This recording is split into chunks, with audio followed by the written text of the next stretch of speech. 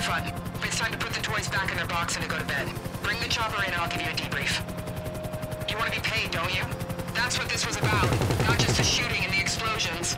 You've done good work, made this country safer. But that does not mean I've got to like you.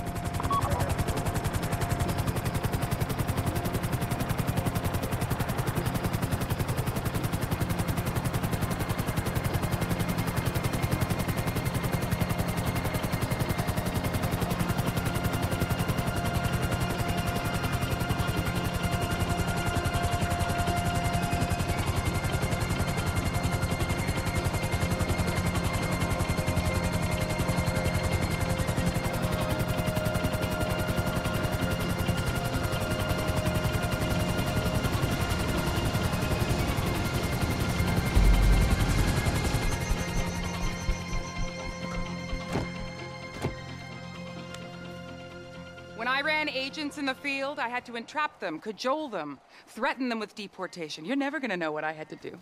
Now, apparently, all you gotta do is give them a couple bucks and a few kind words.